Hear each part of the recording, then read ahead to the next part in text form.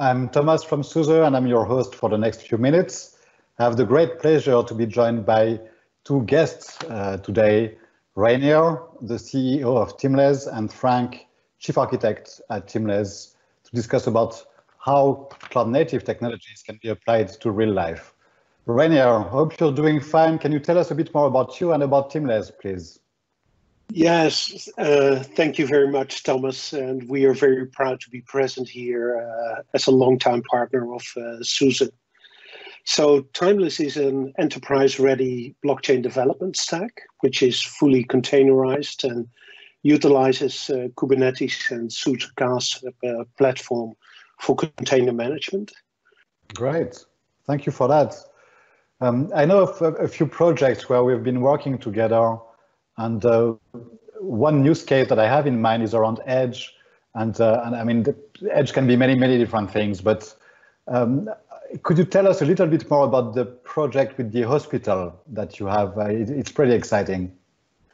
Yeah, sure. Yeah, it is. It, indeed, it's a very exciting project. Uh, so currently, we are integrating our blockchain technology in uh, a workflow for uh, stroke analysis. analysis. Um, so with brain strokes, uh, every hour that doctors are going to treat earlier, the number of patients who will recover without any major problem increases by 15%. This specific use case that we are now doing is to build a distributed artificial intelligence system where basically the AI engine runs locally in the in the various hospitals that are working together in the chain. So our blockchain is used to securely share the outcomes of the learnings with all the other participants in, in the chain. So the use case is specifically aimed in speeding up the analysis of brain strokes. And well, when you take a, a scan, a brain scan, uh, uh, the, the, photographs, so it's, it's a stack of photographs, and it's usually uh, a few gigabytes big. And in the current setting, uh, it is sent to a, to a central point somewhere in the cloud.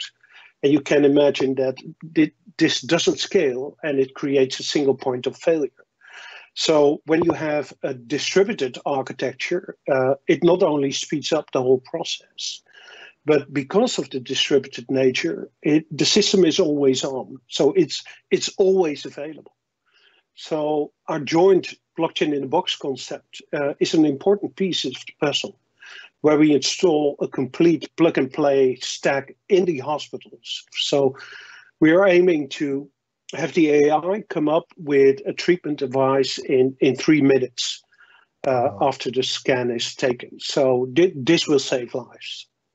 Yeah. It's really great to see such kind of, of use cases and, and the value that it brings, not only to businesses and companies, but also to human beings, right? And yeah. Uh, and, and, maybe that's a question more for Frank as well, but um, thinking about the needs and those use cases, what made you select um, some of the cloud native technologies. Tell me about why you've made those technology decisions in the in the architecture, please. Yes. So uh, yeah, when you think of blockchain and blockchain-based applications, um, then those require actually to run and manage not just a single node, but a whole network of blockchain nodes. And even each node in that network is not just one runtime or so. It is uh, actually uh, consists of a couple of runtime components. So when you look at this from this side, the overall network becomes uh, complex pretty fast. So in order to develop and set up and even manage such a complex landscape, uh, we decided to take a cloud native approach which includes containers uh, as well as Kubernetes. And so using this, uh, we are now able to set up a complete blockchain network in just a couple of minutes in, in even in different cloud environments. And that is actually what our customers want. Yeah. Yeah, in, in cloud environments, in the hospitals themselves as well. Uh, that's, that's a great use case. Thank you again for joining us today. Thank you. Thank you, Thomas. Thank you, Thomas. Thank you.